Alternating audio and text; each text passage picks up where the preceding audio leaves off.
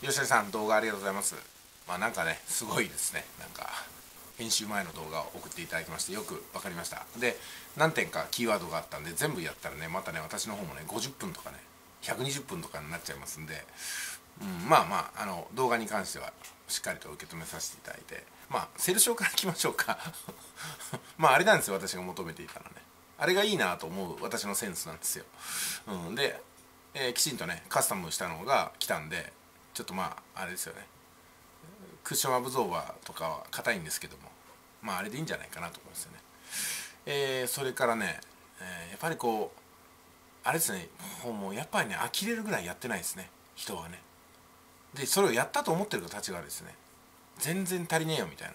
その2桁だと思ったんですけど3桁ぐらい違うんじゃないかなっていうぐらいですよ。まあ私もびっくりすることがあって小野里さんの瞬間風速年収1億ね言ってたんですね。私も年収1億はちょっとね前人未到だなと思うんですよ。まあ、月収1000万はね何度か経験してあこれは人間で無理な数字じゃないなと思ったんですけどもでも考えてみたら月収100万がなんかね夢のまた夢だった時代もありますからね当然ね。まあ私はマイナス月収100万から来てるんで、まあ、少なくとも手取り14万ぐらいには、うん、いくだろうというところからだったんですけども、うん、まあだからですかねまあまずは何につけても量が足りないという量が足りないんだけどもじゃあ何のた何に人生に何使ってたのかなと思っちゃうんですよね。で二十歳になったら20年間30だったら30年間同じように与えられてきてそれでやり尽くしたことがないわけなんですよほとんどの人は。いや本人にしてみたらねいやいや自分はこれをねすごくやってきたんだって言いますけどもじゃあなんだその成果とかになっちゃうわけですよね。うん、だからその趣味で一生懸命やるんだったらいいんですよ。成果を求めずにその瞬間瞬間の喜びでやるんだったら全然いいんですけども何かねプロらしいことを語るんだったらプロらしいレベルまでやっとかないといけないんですよとりあえず。それが全然ないですよね。うん。まあその人どころ自分の生活費も捻出できないようなことに打ち込んできた人生ってのは何なんだかっていうふうに私はまあ すごくね振り返ったことがありましたけどもね。その店舗経営にしてもね多分他の人より私はね店舗経営の数多いんですよ。まあ今こんなこと言ってもね想像もつかないでしょうけども。それこそ20店舗もあったら1ヶ月あってもね全店舗回りきれないですよ。だからもう報告を上げさすようにしたのが私の運の好きだったんですけどね。競技の報告ばかり上がってきますから。いい数字ばっかり上がってくるんですよ。順調じゃんと思ったらそんなことはなかったみたいなね。架空在庫とかね。架空人員とかね。実は人員配置がしっかりしてるかと思ったらその店長が一人で切り物していたみたいなね。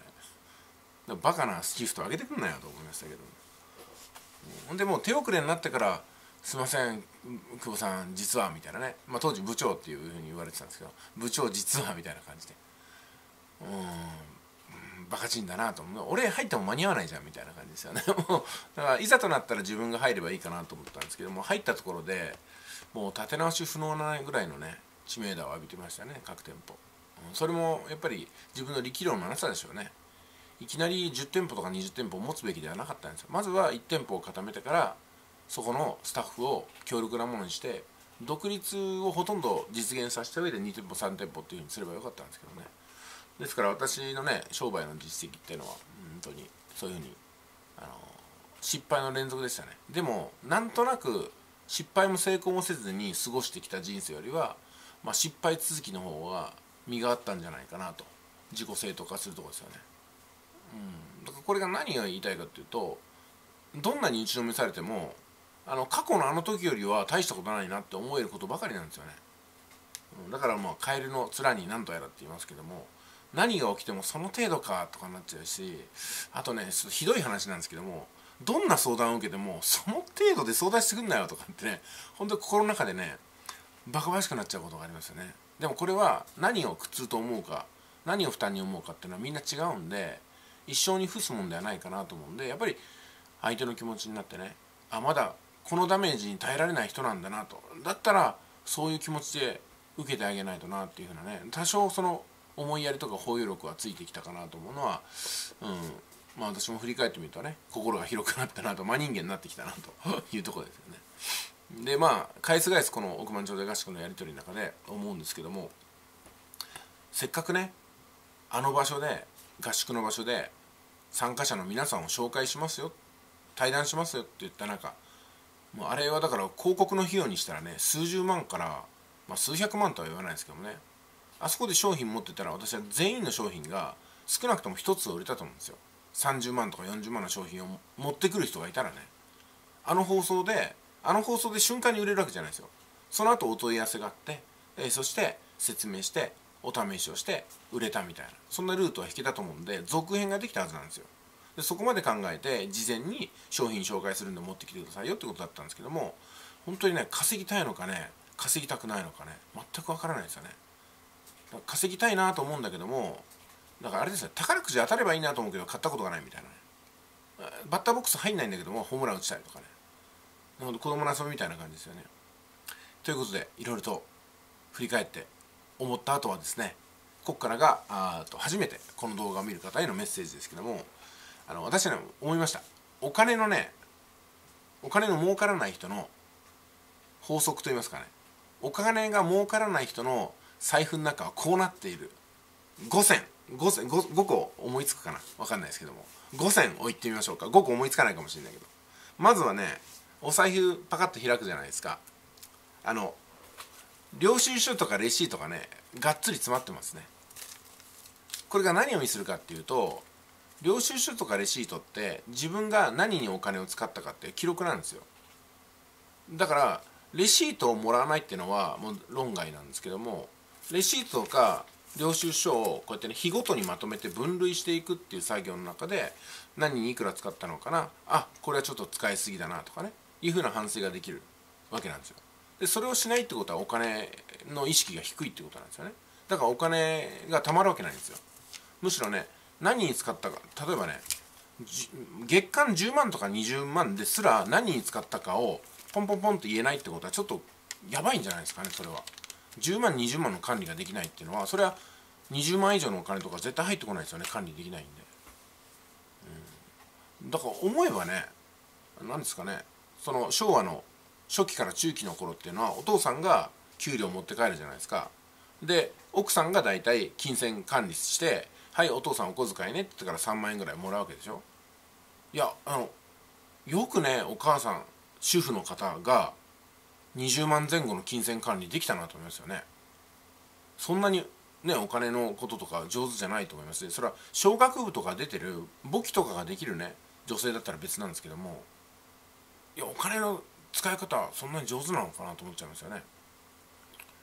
いやこれはねあのある経営者の方が言ってたんですけどもその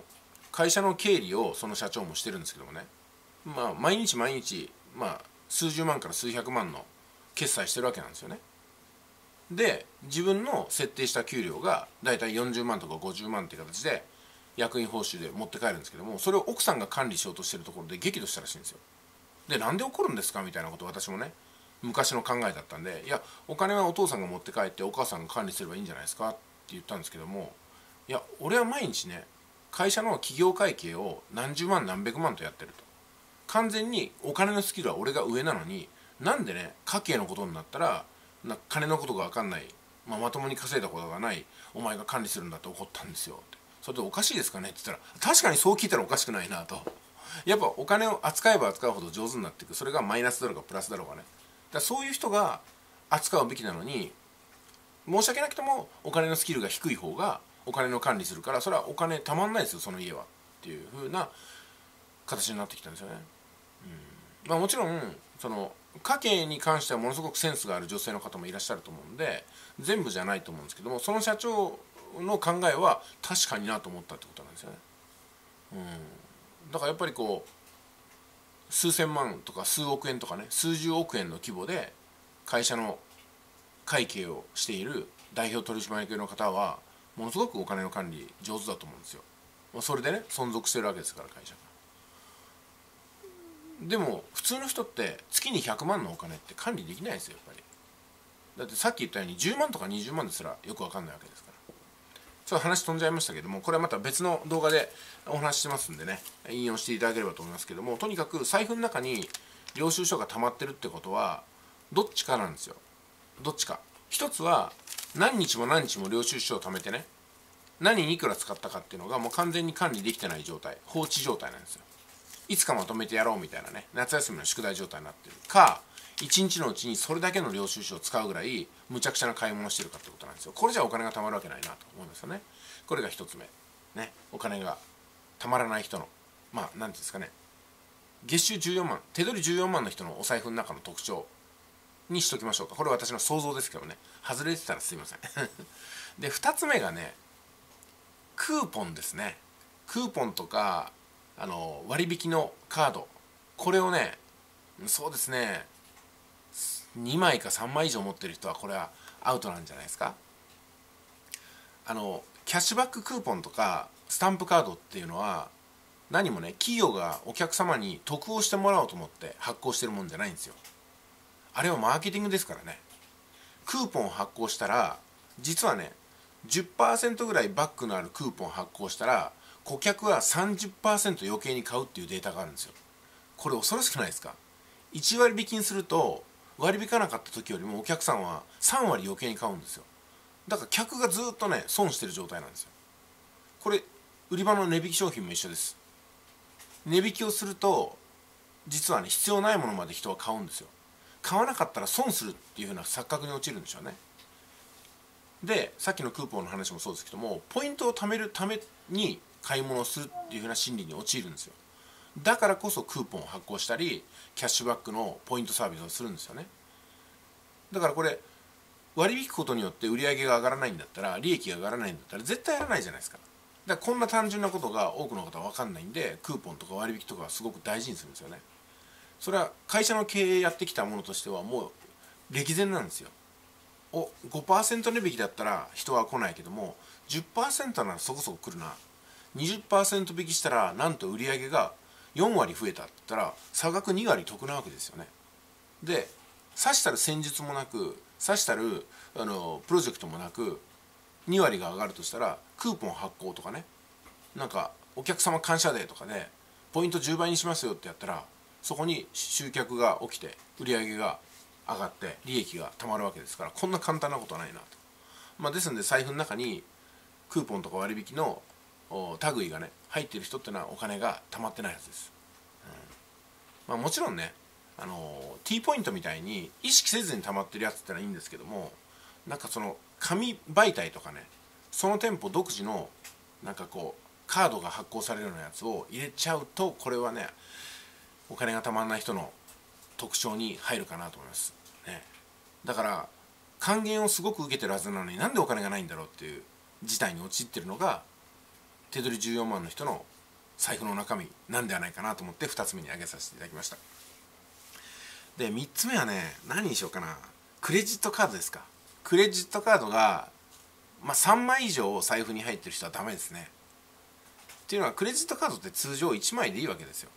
でその1枚にトラブルがあっちゃいけないから2枚目をサブで置いとくっていうのは、まあ、ありえる話なんですけどもクレジットカードが増えれば増えるほどあのクレジットカードのあれですよね。